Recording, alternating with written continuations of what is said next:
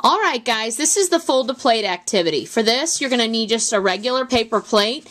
If you don't have a paper plate, you can use a piece of paper that you can cut into a circle. Okay? You're going to need that. You need a ruler. And you need some markers or some colored pencils. Okay? The first thing that we're going to do is we're going to divide our plate in half. So we're going to fold it nice and tight. And while I'm folding it, I'm going to kind of press out some of these bumps from the plate so it looks more flat. Then I'm going to open that up and I'm going to trace that line I just made with, I'm going to line up my ruler with it and I'm going to trace it across.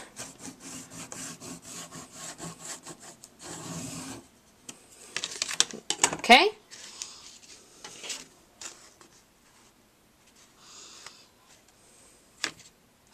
And that is going to be called the equator.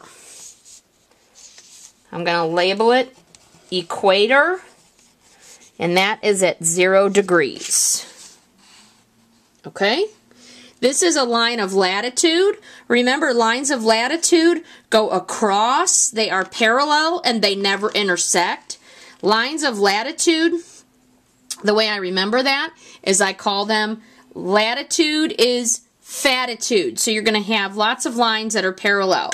The next thing that I'm going to do is I'm going to fold my plate again to create some more lines of latitude. So I'm going to fold my plate I'm going to fold it in half.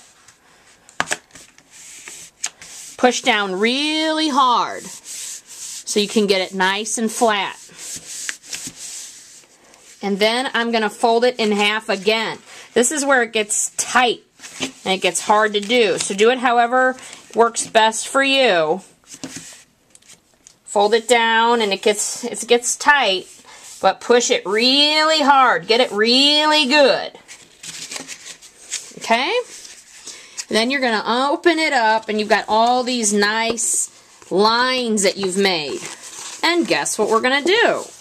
We're going to trace those too. So when I go from the equator, the numbers go the same up from the top. They also are the same from the bottom, except they end in zero and they get bigger as you go up and as you go down. This is the North Pole up here. This is the South Pole down here. I'm going to trace my first line. I'm going to choose a new color this time. So I'm going to trace my lines of latitude. Now colored pencil doesn't work very well on this because this plate is kind of waxy. But I'm going to trace my lines of latitude with blue all along where I folded it. Okay? So there's my lines. And this one didn't look too good. Let me redo that. We should have used markers, and that's what I recommend, is markers in order to do this.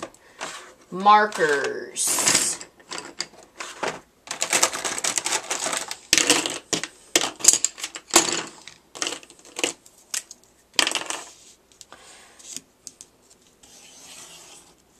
So it's easy to see across. These are my lines of latitude.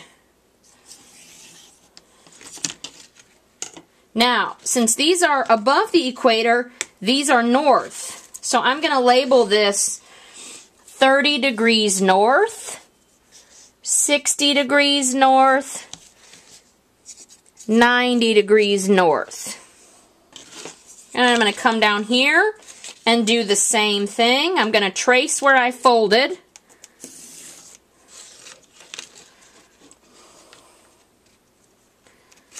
And I'm still using the same color because these are still lines of latitude. Now, what do you think these are going to be down here? These are north.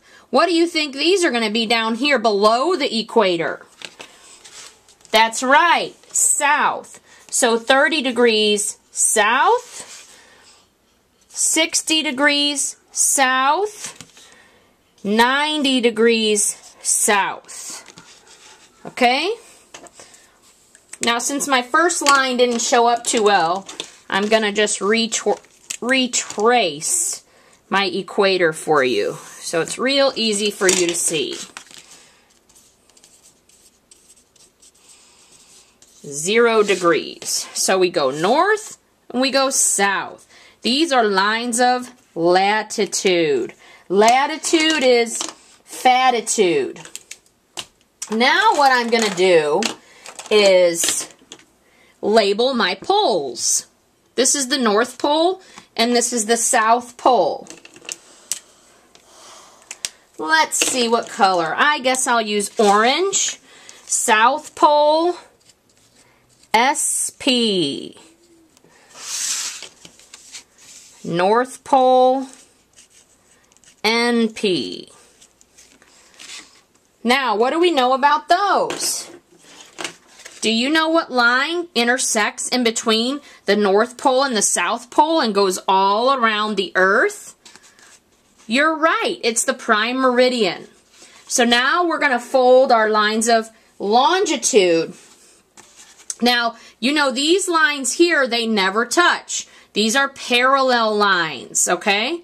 But when we start talking about latitude, they go through the poles. So I'm going to turn my plate sideways and I'm going to fold it the opposite direction this time. Get a nice crease down on there. It goes right through the poles. And I'm going to trace that line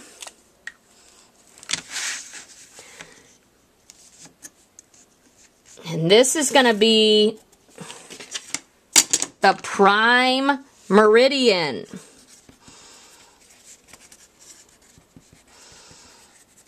This is at zero degrees longitude. Zero degrees longitude. And it goes all the way around the earth. Okay? Now, this is where we won't be able to fold things anymore because it gets a little bit it gets a little bit different for us. So now what we're going to do is create some more lines of longitude. And what you need to understand is that all the lines of longitude intersect at the poles. So depending on what kind of an artist you are is how the how this is going to actually turn out for you. But I'm going to make some lines along here so I know where to kind of drop them. My plate is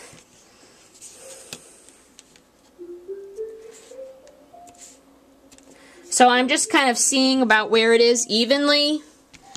And I'm drawing some quick dots where I'm going to have my lines come down. I'm going to start up here at the North Pole and I'm going to kind of make a half circle coming down to the south. I'm going to do that again through this little line and start again at the North Pole coming south like that. So these are lines of longitude and they connect at these points. Again, opposite of these. These are parallel. They never touch around the earth where these lines actually do. They all meet through the poles and they make their way around the earth. Okay, I'm going to do the same thing here. A little half circle and come down.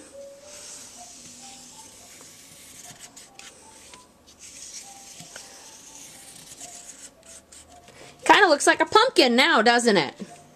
Now I'm going to label these lines. Everything from the prime meridian is where you use your measurement. This right here in the middle is 0 degrees, 0 degrees. Prime meridian is on 0. So everything this way is west. Everything this way is east. Remember, north and south. Never eat soggy waffles. So now what I'm going to do is I'm going to label these. This is 30 degrees west, 60 degrees west, 90 degrees west, and then the same on this side, only this is east of the prime meridian, so 30 degrees west, 60 degrees west, 90 degrees west. And so now you've created your very own globe out of a plate and you folded it so it makes it easier for you. You can do this over and over again or do it with a friend to help you. You can make more lines of longitude. You can make them skinnier if you want to. I just went up by by 30s so that we would have a better space. This is what you're going to take a picture of and send to me so that I can give you a grade.